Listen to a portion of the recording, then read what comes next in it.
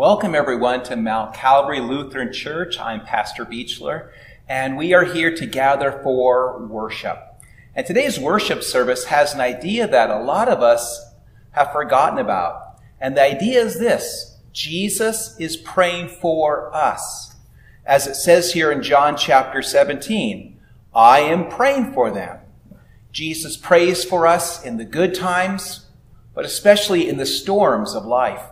And I hope as you go today's worship service that you will understand that there is a God who is praying for you and you will see the answer to his prayers in the storms of life. Let us pray. Lord God, meet us here this day as we worship you. Let us focus upon what you have done for us and how greatly you love us. And let us see that you are the answer to your prayers for us. In Jesus' name we pray. Amen.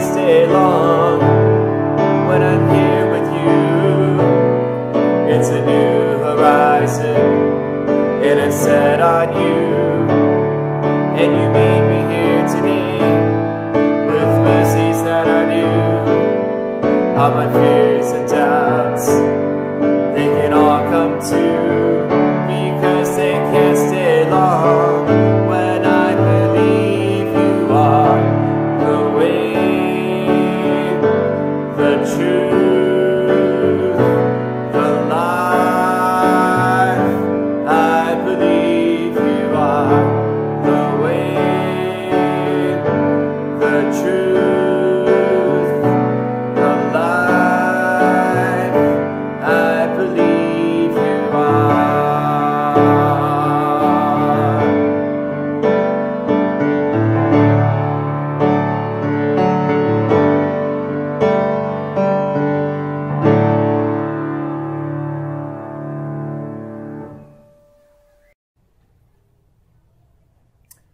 encourage you now to stand for this opening part of worship.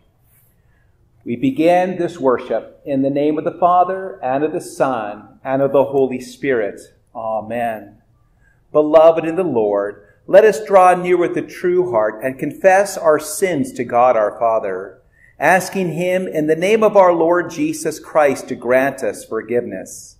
Our help is in the name of the Lord, who made heaven and earth. I said, I will confess my sins to God, and you will forgive my sins. Almighty God, our Maker and Redeemer, we poor sinners confess to you that we are by nature sinful and unclean. We have sinned against you by thought, word, and deed. We flee to your refuge, to your infinite mercy, and ask and implore of your mercy for the sake of our Lord Jesus Christ. And now together as a community we confess, O most merciful God, who has given your only begotten Son to die for us, have mercy upon us, and for his sake grant us remission of our sins, and by your Holy Spirit increase in us true knowledge of you and of your will, and true obedience to your word, to the end that by your grace we may come to everlasting life through Jesus Christ our Lord. Amen. Hear now the wonderful news. Almighty God, our Heavenly Father, has had mercy upon us and has given his only Son to die for us, and for his sake forgives us all our sins. To those who believe in his name, he gives the power to become the children of God and bestows upon them the Holy Spirit. He who believes and is baptized will be saved. Grant this, Lord, unto us all. Amen. We encourage you now to greet people online or people in the same room with you with the peace of the Lord. We have been forgiven, and so we forgive those who have wronged us as God has loved and forgiven us. Amen.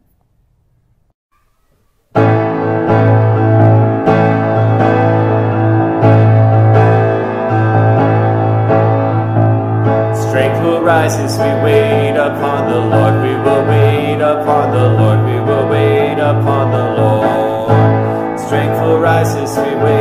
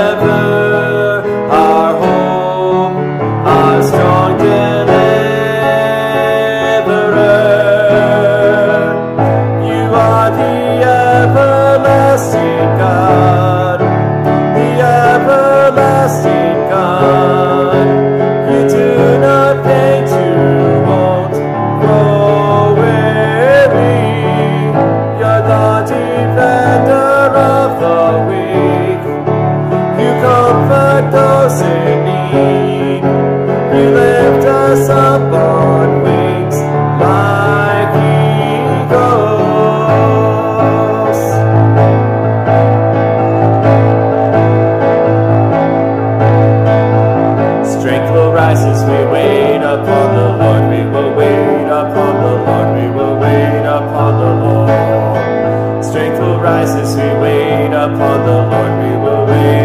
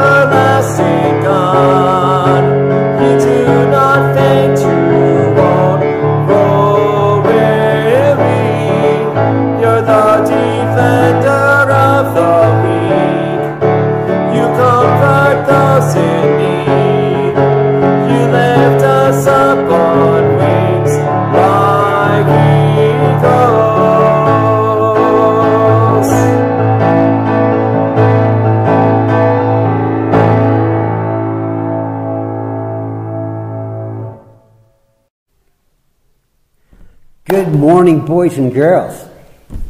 Today we are going to learn about prayer, and specifically a prayer that Jesus made for us. Jesus prayed for you and me and, and all believers. He prayed for the disciples. In John chapter 17, we can find that very prayer. And this was the prayer that on the night that he was betrayed and that he was going to be arrested, he prayed. for the disciples and for us. Here's what he prayed for. He prayed these things for his disciples that they would be one as he and the Father were one, that God would protect them from the evil one, that they would be made holy by the truth of God's word. The prayer that Jesus prayed for the disciples uh, was for us too. My prayer is not for them alone. I pray also for those who will believe in me through their message. And that's you and me. God wants us to be protected. God wants us to be holy, to be strong in our faith. And God wants us to be together as one. So I have some metal here, metal objects to kind of represent us, believers, the church. Maybe sometimes we argue, maybe we don't agree on things, or maybe we're just off on our own and we can forget that Jesus' message of love is for us to be together and to show that and tell that to others. So this magnet is going to represent Jesus. And Jesus' prayer for us that we would be protected, that we would be together as one. Whoa. What do you think? That's awesome. Let's pray to God right now and thank Him. Dear God, thank you for being with us. Thank you for sending us Jesus. And thank you for Jesus' prayer for us. Help us, Father, be closer to you, to be closer to each other, to share your message of good of the good news that Jesus has saved us from our sins. Be with us. In Jesus' name we pray. Amen. Our first reading is from Isaiah 25, 6, 9. On this mountain, the Lord Almighty will prepare a feast of rich food for all peoples, a banquet of aged wine, the best of meats, and the finest of wines. On this mountain, he will destroy the shroud that enfolds all peoples, the sheet that covers all nations. He will swallow up death forever. The sovereign Lord will wipe away the tears from all faces he will remove the disgraces of his people from all the earth. The Lord has spoken. In that day they will say, Surely this is our God. We trusted in him, and he saved us. This is the Lord, we trusted in him. Let us rejoice and be glad in his salvation. Our second reading is from Philippians 4 2 through 8. Plead with Euodia, and I plead with Syntyche to agree with each other in the Lord. Yes, and I ask you, loyal yokefellow, help these women who have contended at my side in the cause of the gospel, along with Clement and the rest of my fellow workers, whose names are in the book of life. Rejoice in the Lord always. I will say it again rejoice. Let your gentleness be evident to all. The Lord is near. Do not be anxious about anything, but in everything, by prayer and petition, with thanksgiving, present your requests to God. And the peace of God, which transcends all understanding, will guard your hearts and your minds in Christ Jesus. Finally, brothers, whatever is true, whatever is noble, whatever is right, whatever is pure, whatever is lovely, whatever is admirable, if anything is excellent or praiseworthy, think about such things. The Gospel reading is from John chapter 17, verses 1 through 10. You may rise for the reading of the gospel. When Jesus had spoken these words, he lifted up his eyes to heaven and said, Father, the hour has come. Glorify your Son, that the Son may glorify you, since you have given him authority over all flesh, to give eternal life to all whom you have given him. And this is eternal life, that they may know you, the only true God, and Jesus Christ whom you have sent. I glorified you on earth, having accomplished the work that you gave me to do. And now, Father, glorify me in your own presence with the glory that I had with you before the world existed. I have manifested your name to the people whom you gave me out of the world. Yours they were, and you gave them to me, and they have kept your word. Now they know that everything that you have given me is from you. For I have given them the words that you gave me. They have received them, and have come to know that in truth that I came from you, and they have believed that you sent me. I am praying for them. I'm not praying for the world but for those whom you have given me, for they are yours. All mine are yours, and yours are mine, and I am glorified in them. This is the gospel of the Lord. Our creed today will be the Apostles' Creed. Let us begin now. I believe in God, the Father Almighty, maker of heaven and earth and in Jesus Christ, his only Son, our Lord, who was conceived by the Holy Spirit, born of the Virgin Mary, suffered under Pontius Pilate, was crucified, died, and was buried. He descended into hell. The third day he rose again from the dead. He ascended into heaven and sits at the right hand of God, the Father Almighty. From thence he will come to judge the living and the dead. I believe in the Holy Spirit, the holy Christian church, the communion of saints, the forgiveness of sins, the resurrection of the body, and the life everlasting. Amen.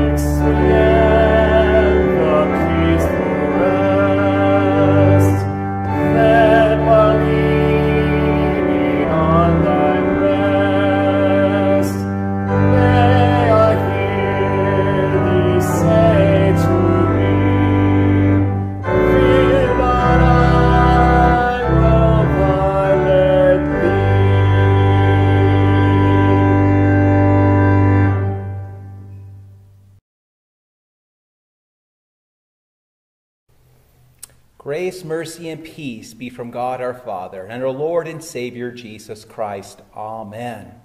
We're on session seven of Unshakable Hope, building our lives on the promises of God. And today's promise is one that you probably never thought about. Or if you have, thought about it very rarely. But it's an amazing promise that God has given us. And to understand this promise, I want to share with you a story that took place in a small church in Kentucky back in the 1960s. Uh, this was a very tight knit church. The families loved each other, cared for each other, and they all brought their kids to church. And there was one kid who just did not like church at all, who squirmed and made noises and uh, just disrupted the service quite often. And one day, the father just got fed up with his little kid. And the father picked up his son and began to carry him out of church. And he was carrying him underneath his arms. The feet were in front of him. And the kid's face was facing the congregation as he was being taken out. And as he was being led out, the child said something that made the whole church stop and smile and laugh. As the kid is being taken out, he said in a very clear voice, Y'all pray for me now. And that is what our subject is about intercessory prayer, praying for others, but knowing that Jesus is praying for us, that Jesus is praying for you. And that's God's promise for today. Jesus is at the right hand of God and is also interceding for us. And so our promise is that we will take heart because Jesus is speaking for us right now before our Father's throne. So let's get into today's sermon. Point number one Jesus teaches that we will face storms in life. Jesus is not pessimistic, he is realistic. So listen to the words of Jesus. In this world, you will have trouble. Take that to heart. You're going to have troubles in this world. And often we think that we get to live in some type of bubble, and that Jesus lived in some type of bubble away from the trials and troubles of this world. And Jesus himself faced all kinds of troubles. His family thought he was out of his mind. Uh, Mark 3, he's out of his mind. His closest friends deserted him at his arrest. Everyone deserted him and fled, says Mark 14. His own people rejected him. Crucify him, crucify him. Jesus had a life full of troubles. The religious leaders, the right and the left, hated Jesus and wanted him dead and worked to have him put to death. The Romans who ruled eventually had Jesus crucified. The book of Isaiah prophesied about the life of Jesus. Isaiah 53 3. He was despised and rejected by men, a man of sorrows and acquainted with grief. As one from whom men hid their faces, he was despised, and we esteemed him not. Jesus did not live in a bubble where there was no trouble. He lived in this world, and he suffered in this world. And he came to redeem and purchase us back from this fallen world that we live in and we too as followers will face storms. Philippians 1:29 For to you has been given the privilege not only of trusting him but also of suffering for him. And a lot of Christians have this bad theology, this bad idea of what the Christian faith is about. They believe that now they belong to God, they will pass through life without troubles. They get to live in this bubble of God's protection. And that's not what Jesus told us is true. And that's not what the Bible preaches. And we see this idea that we will have trouble, we will have persecution, all through the book about the history of the early church. You see, the book of Acts is about the church in the first 40 years. And the book of Acts has amazing miracles but also shows some of the trials and tribulations of life. It shows the martyrdom of people like Stephen at the very beginning of the book of Acts, Acts chapter 7. It shows you how the different disciples and Christians were persecuted for their faith, how many were put in prison, and many died because of faith in Christ. The apostles themselves did not live in a bubble. Of the 12 apostles, as you know, Judas committed suicide.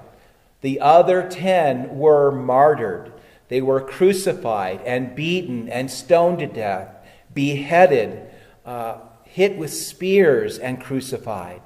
Only one lived to a ripe old age, and that is John, and he was put in exile on the island of Patmos, where he writes the book of the Revelation. And so God does not promise us a life without troubles. Uh, another person said this You will end up really disappointed if you think people will do for you as you have done for them. Not everyone has the same heart as you. We live in a fallen world, a world of trouble and tribulation. There is no bubble for us to live in. We live with everyone else on this fallen planet, filled with sin and filled with people who do terrible things. And yet, on this planet, we can have hope. We can be like this house here that survived a hurricane. Most of the houses around it were flattened, but it survived the hurricane because of its foundation. It was built deep, it was built well. And that's what God wants for our lives that we have deep roots in the promises of God, that they anchor us in the storms of life. Reminds me of Louisa May Alcott once said, I'm not afraid of storms. I'm learning to sail my ship. And we sail our ship anchored in the Word of God. So let's get into a story about a storm, a story that a lot of you know from Matthew 14. The writer says, Immediately Jesus made the disciples get into the boat and go on ahead of him to the other side while he dismissed the crowd. And after he dismissed them, he went up on a mountainside by himself to pray. Later that night, he was there alone, and the boat was already a considerable distance from the land, buffeted by the waves because the wind was against it. And sometimes we create storms because of the dumb things we do. As Forrest Gump said, stupid is as stupid does. David and Bathsheba is a story of stupidity, of David breaking his marriage vows, of David hurting somebody, and the trouble that he got in. As Galatians 6 7 says, Do not be deceived, God cannot be mocked. A man reaps what he sows. And so we need to understand that if we do things that are dumb, storms will come upon us. But these disciples are in a storm because Jesus told them to be there. Matthew 14, Jesus made the disciples get into the boat. And some of the storms we get into are not of our own making, they are what God has allowed or living in this fallen world. And here's some interesting facts about this trip that the disciples are on in the Sea of Galilee. They're leaving in the evening, the sun is setting, Jesus is not with them. Jesus is asking them to row three or four miles, about an hour long trip. But then the storm hits, and they are in that storm all night long. About four or five in the morning, they're still miles from where they're supposed to be. But they are rowing, they are being obedient to Jesus. They're not letting the storm stop them. But I'm sure they had one thought in mind. Can you guess what that thought is? Think about it for a minute. What would you think about in the midst of the storm? They are thinking about does anyone know where Jesus is? Where is Jesus? He's supposed to be with us. Where is Jesus in the storm? And that's what we also say to ourselves so often. Where is Jesus in the storm that I am in? So, where is Jesus? Jesus is in prayer. He's praying for this world and he's praying for his disciples. Jesus is in prayer. Jesus is interceding for them. And that word interceding is a verb to make specific requests or petitions for someone else. It is used in Acts chapter 25 of a, a governor named Festus who intercedes to the king for the apostle Paul. And we are called to be people who, like Jesus, who intercede in prayer for others in their storms. 1 Timothy 2 I exhort, therefore, first of all, that petitions, prayers, intercessions, and thanksgiving be made for all people. And so, this kind of prayer is very important. And Jesus is showing the importance of intercessory prayer. And I encourage my church elders to pray for me and Pastor Greg, to pray for our congregation, to pray for those who are sick. I want my elders to be known for their intercessory prayer. And I want you, fathers, to pray for your spouses, your brothers and sisters, your children, if you have them. You mothers, to pray for your spouse, to pray for your kids, aunts, uncles, and to pray for others. I want you, children, to pray for your parents and grandparents, and to pray for your friends. This is to be an important part of our lives, praying for other people. And it reminds me of a story about this king. And this king was having a meeting with his noblemen and advisors and high ministers of state. And suddenly, in the midst of the meeting, there was a big bang and a clatter at the door of the throne room. And all the eyes turned to the door of the throne room as it burst open and a young boy came running in. One of the guardsmen stopped the boy and said, Hold on there, lad. Don't you know you're disturbing the council of the king? And the boy said this He's your king, but he's my daddy. And he was able to come on up. God wants us to boldly come to his throne room because we are his children and he is our heavenly Father. And he wants to hear us intercede for the people around us.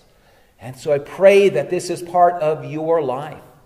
And if you want to be a part of an intercessory prayer team, we have them here at church. Every Monday at 12:30 you can gather with other Christ followers and intercede for this congregation and community and this world. We also have a prayer chain where you will get prayer requests to intercede for others. And if you are in the midst of a storm, let others pray for you. This is a missing component for many of you. You get in the storm and think you can make it all by yourself. You need people praying for you. And so call our church office with your prayer requests, big or small, and let us intercede for you. And here's probably the main point of the sermon Jesus intercedes in prayer for us. Romans 5. Who then is the one who condemns? No one. Jesus Christ, who died. More than that, who was raised to life, is at the right hand of God and is also interceding for us. Jesus is praying for you. And let that be an anchor in your storm that Jesus is praying for you and that others want to pray for you also. Max Lucado wrote, Jesus, right now, at this moment, in the midst of your storm, is interceding for you. The King of the universe is speaking on your behalf. Jesus is calling out to the Heavenly Father. Jesus is urging help of the Holy Spirit. You do not have to fight the storm alone. So, right now, in your storm, Jesus is praying for you. And does Jesus answer these prayers? Yes. And here's the next part of our text. Shortly before dawn, Jesus goes out walking on the lake. When his disciples saw him walking on the lake, they were terrified. It is a ghost, they said, and cried out in fear.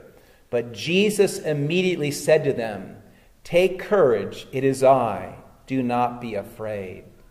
And Jesus becomes the answer to his own prayer. The disciples are fearful, and Jesus goes to them. Take courage, it is I. Do not be afraid. And that is what we need to understand that quite often, in the midst of our storms and troubles, the answer is Jesus. Seeing Jesus there in our storm, knowing that Jesus is praying for us, knowing that Jesus will be with us in the midst of our storms. And so invite Jesus to be with you in your storms. And how does Jesus visit us? He visits us through other people, his hands and his feet, the church. But most of all, he visits us through his word, the Bible. And I know sometimes we read the Bible and we just don't seem to get anything. But God is there with us as we read his word. And that he is with us in this gift of Holy Communion. And some of you right now need communion. You're at your homes and you need God to come and be with you in a physical way. And that's what communion is. In that bread, in that wine, there is Jesus. And if you're afraid of coming to church, I'm not afraid, or Pastor Greg, of coming to your home and giving you communion. We have a way of doing it safely, that we can give you this amazing presence of God. If you live far away from us, I can contact a pastor somewhere near you who will come and give you communion after they instruct you in the Christian faith a little bit. And so invite Jesus to be with you in the storm, in word, in bread and wine. Allow him to be there with you in the midst of the storm. And then to close up today, I think a lot of you know what happened next. Uh, Peter says, Jesus can I come to you? And Jesus says, Come. And Peter steps out of the boat and he starts to walk on water. But then he becomes afraid by the wind and the waves. And he cries out, Lord, save me. And Jesus reaches out and catches him. You of little faith, he said, why did you doubt? And they climb back into the boat, and the wind dies down, and the disciples worship Jesus. Truly, you are the Son of God. And so that's what our calling is too. In the midst of the storm, we invite Jesus in our presence. We allow him to love us in spite of our little faith, and we worship him as our Son of God. And he takes us through the storm. And eventually, whatever storm you're in right now will come to an end. Jesus will get you through the storm. Invite him into your presence. As another author wrote, right now, in this moment, in the midst of your storm, Jesus is interceding for you. The King of the universe is speaking on your behalf. Take courage, it is I. Do not be afraid. So, Jesus is praying for you. You are called to pray for others and to let others pray for you in the midst of the storm. And so allow Jesus to be there with you. So we're going to watch a little video that we started our sermon series with and let it remind you that Jesus is there in the midst of your storms.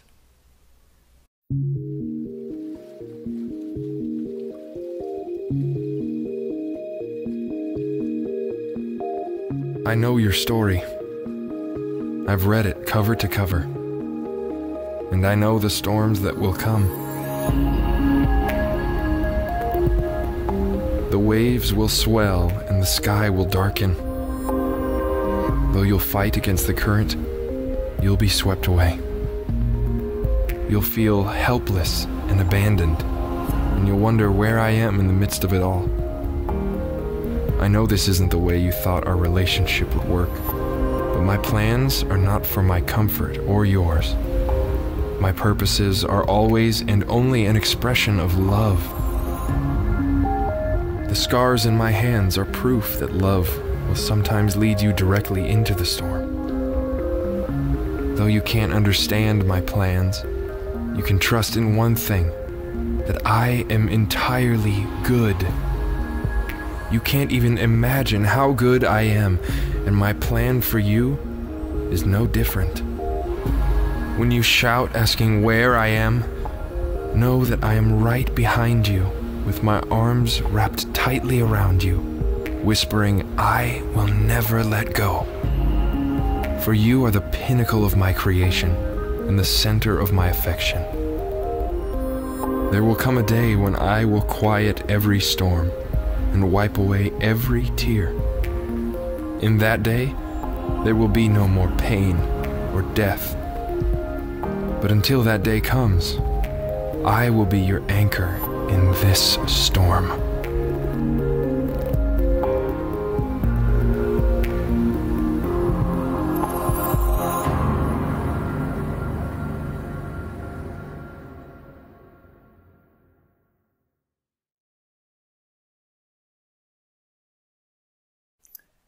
We now continue our time of worship with our time of prayer. And again, I encourage you to stand for this time before our God. We pray. Lord Jesus, we thank you that you are interceding for us right now, that you are taking our worries and concerns to the throne of God, and that we can trust that you are on our side, and that you are the answer to our prayers.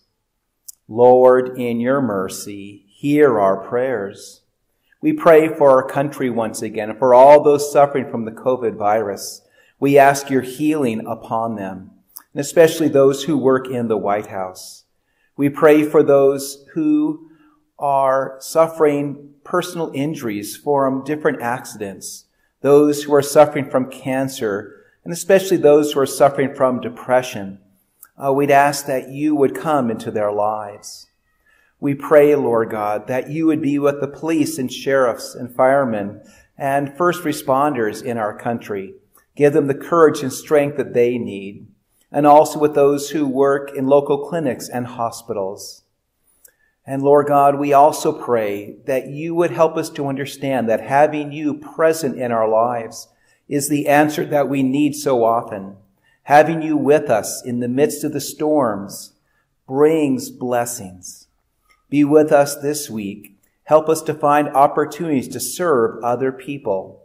And as we serve them, let us share with them the good news of the cross. We ask this in Jesus' name who taught us to pray. Our Father, who art in heaven, hallowed be thy name.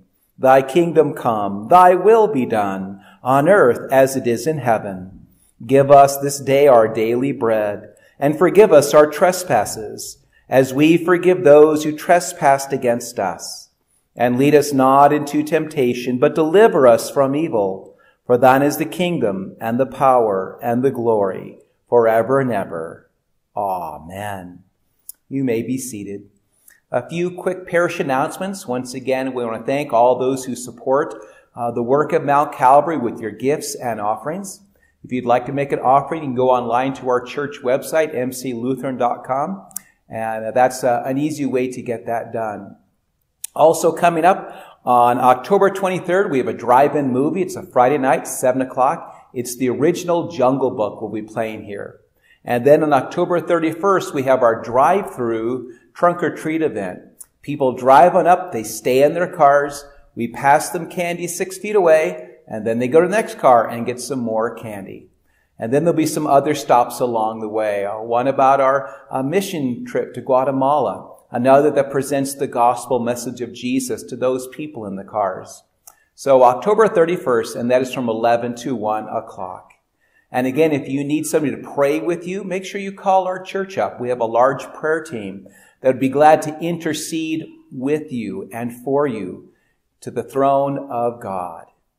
Well, let us now stand, receive God's blessings as we go forth for another week. May the Lord bless you and keep you. The Lord make his face shine on you and be gracious to you. The Lord lift up his counts upon you and give you peace. Amen.